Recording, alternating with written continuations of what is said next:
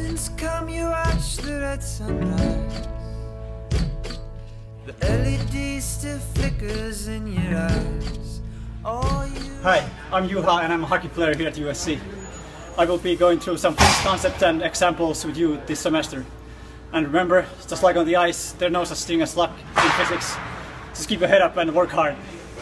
Drag in a fluid is a good context for a little bit of a calculus and algebra exercise.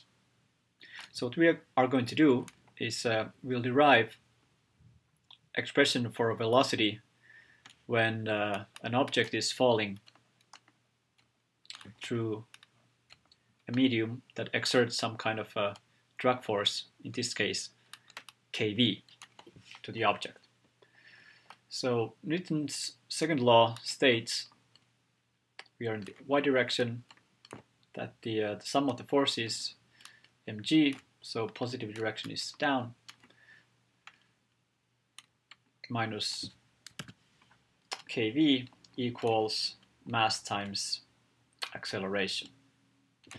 And uh, acceleration, as always, is the derivative of velocity with respect to time. So you can already get an idea where we're going from here. So we would like to separate the uh, variables to their respective sides and follow through with an integration. But uh, before we do that, uh, uh let's uh, refresh and remember that when this one is zero, the net force is zero, that's when we have the vertical velocity. So in that case, uh, I mean the terminal velocity, and that's of course mg over k, as you can solve easily from here. So uh, in other words, we can say that mg is uh, vt times k, and we'll plug this vt over here. And what do we get then?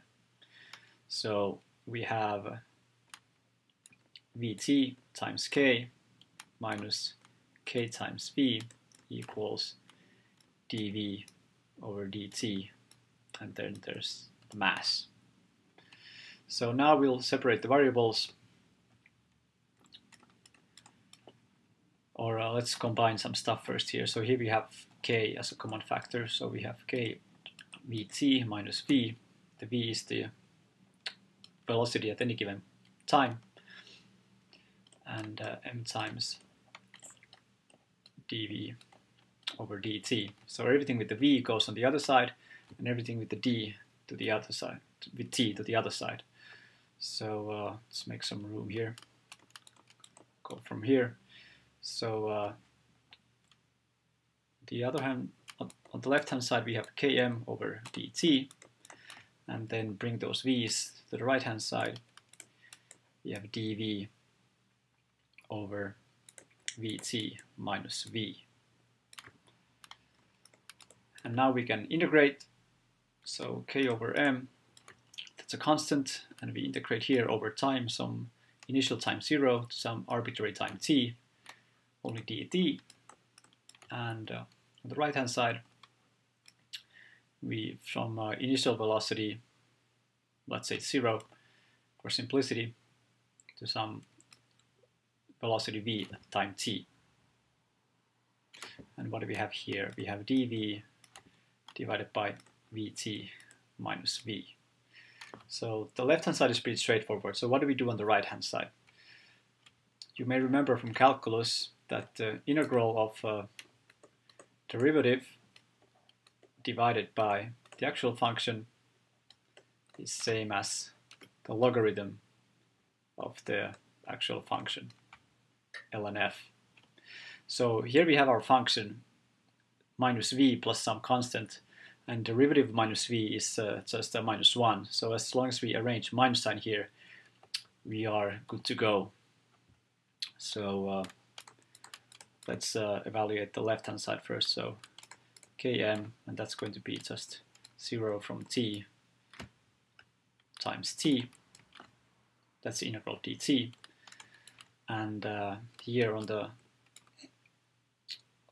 right hand side, we have minus ln of the function itself, vt minus v, like this. So uh, if we take derivative of ln vt minus v, we get 1 over vt minus v times minus, exactly like we have here. Alright, now we can uh, put the limits in. So on the left hand side, it's only going to be km, that's going to be uh, t, the upper limit minus the lower limit, 0, like this. And on the, okay, we can also bring this minus sign on this, on the left hand side to make things simpler here. So we just have to uh, make those, uh, put the limits in their place. So substitute v for v.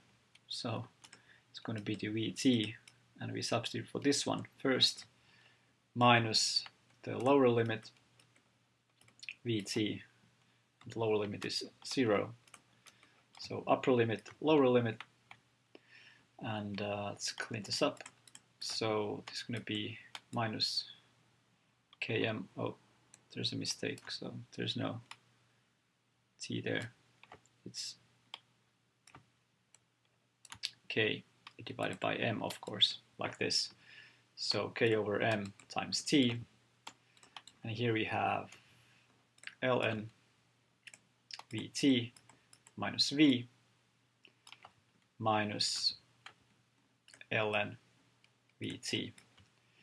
So what about this one then? So you might remember that for logarithms it applies that ln a plus ln b, oh, of course, uh, minus is same as ln a over b.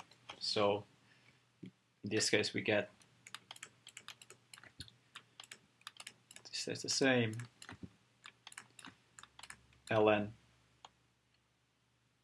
of vt minus v divided by vt. And then we raise both sides to the power of e to get rid of the uh, logarithm on the right hand side. So this becomes e to the power of minus kmt equals, that just kills the logarithm, so we are left with vt minus v over vt. And uh, multiply with the other side, vt times the exponent equals vt minus v. And from here we get the uh, actual v at any given point in time. So v goes to the left hand side and that goes to the other side. So on the right hand side we have common term vt 1 minus exponent times minus km times t. And this is the expression we saw in the overview video as well. The velocity when the, the drag force is proportional to the velocity.